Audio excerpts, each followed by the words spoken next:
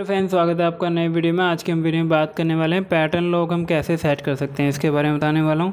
तो चलिए friends, video को शुरू करते हैं। वीडियो को शुरू करने से पहले अगर आप चैनल पर नए हैं तो चैनल को सब्सक्राइब कर वीडियो को लाइक कर दीजिए।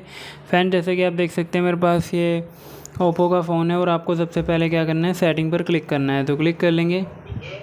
क्लिक करने के बाद आपको इस तरीके का आइकन शो करेगा। आपको यहाँ पर क्या करना होगा, जैसे कि आप देख सकते हैं थोड़ा सा ऊपर की साइड स्क्रॉल करेंगे पासवर्ड एंड बिज़नेस वाले ऑप्शन पे क्लिक करेंगे। क्लिक करते ही आपको इस तरीके का आइकन शो करेगा। आपको यहाँ पर क्या करना है? सेट स्क्रीन लॉक पर क्लिक करना है। और जब यहाँ पर काउंटिंग चल रही है, इसको पूरी होने के बाद कनेक्ट पर क्लिक कर देंगे।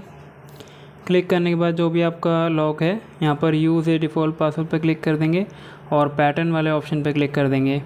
क्लिक करते जो भी आप पैटर्न लगाना चाहते हैं, लगा सकते हैं और दो बार आपको डालना होगा। तो आप देख सकते हैं, इस तरीके से डाल देंगे और ऐड पे क्लिक करना है। और फिंगरप्रिंट ऐड करना चाहते हैं ऐड कर सकते हैं अदरवाइज़ बैक कर देंगे और आपका स्क्रीन लॉक पर पैटर्न लॉक सेट हो जाएगा। ये देखिए तो उम्मीद है फ्रेंड्स वीडियो पसंद आएगी। वीडियो पसंद आए तो चैनल को सब्सक्राइब कर वीडियो को लाइक कर दीजिए। मिलते हैं नेक्स्ट वीडियो में, तब तक के लिए नमस्कार।